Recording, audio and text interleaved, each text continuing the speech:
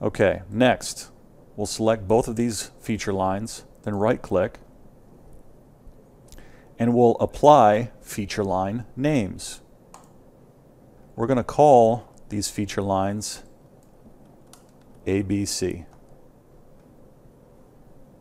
Then we have a next counter. We're going to click OK.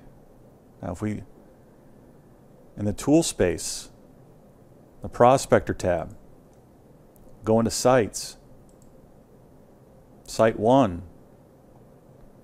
If we look here, we've got a section on feature lines.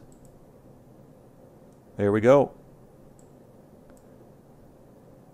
We've got ABC1 and ABC2. If we want to, we can right click on this and it has its own, well, we can even select it. What if we're way, let me zoom out, we're way over here for whatever reason, okay? We're way over here and we want to we want to see the ABC2 feature line. Right click and hit select. Oh, there it is. I see it now. So that can be helpful when you have so many feature lines and you name them properly. That with a descriptive with a descriptive name, man, that could be really helpful. You know, because there are times where you could be have you could have like three different parking lots on this site, right?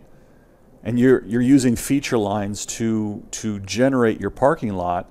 Well, which which feature line is for which set of feature lines are within parking lot 1, right? You know, which which feature lines are within parking lot 2 and so on and so forth. That's when applying a name to a descriptive name to multiple feature lines like we just did kind of kind of goes into effect because you're not having to search all, all over the, the site in order to find a particular feature line. You can just look within the name, you know, one, one set of feature lines could be uh, the, the edge of pavement feature lines for parking lot number one, or parking lot A, or parking lot, uh, or northwest parking lot. You know, that's where naming your feature lines, you know, applying it to multiple feature lines can be very, very helpful.